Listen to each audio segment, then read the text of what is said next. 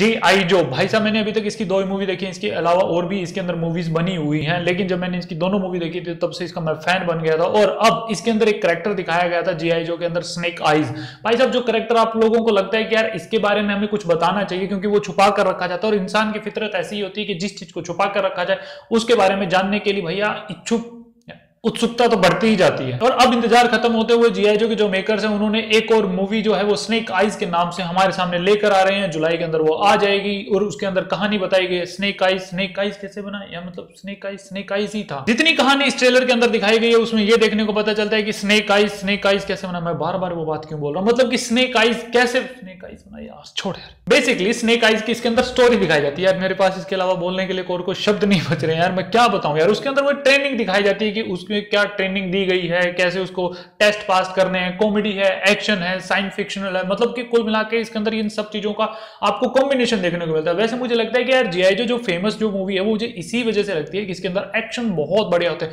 और इसमें action plus में साइंस फिक्शन जो एक्शन दिखाए जाते हैं, वो तो यार अल्टीमेट है मतलब एक अलग ही आपको टेस्ट देते हैं। और जब ये मूवी का ट्रेलर देखा तो मुझे काफ़ी ज़्यादा उम्मीदें लग गई हैं यार इस मूवी से, क्योंकि यार मुझे जीआई जो सच में जो बहुत ज़्यादा पसंद आई थी, जैसे इसके अंदर स्टोरी रखी जाती है, जैसे इसके अंदर एक्शन रखे जाते हैं, जैसे इसके अंदर साइंस का यूज़ किया जाता है, वो बहुत बहुत बढ़िया एंटरटेनमेंट प्रोवाइड करते हैं। ये जो मूवी है वो जुलाई के अंदर आने वाली है और हमें नहीं पता कि हमारे देश में कब तक हालात जो है, वो सामान हो जाएँगे, सम्मान हो जाएँगे। मतलब एक जैसे हो जाएँगे मतलब बिल्कुल भी कोई डरेगा नहीं, आराम से घर से बाहर निकल पाएँगे। लॉकडाउन काफ़ी जगह खुल चुका है, काफ़ी जगह रह चुका है, लेकिन अब चीज़ें धीरे धीरे नॉर्मल होती जा रही है।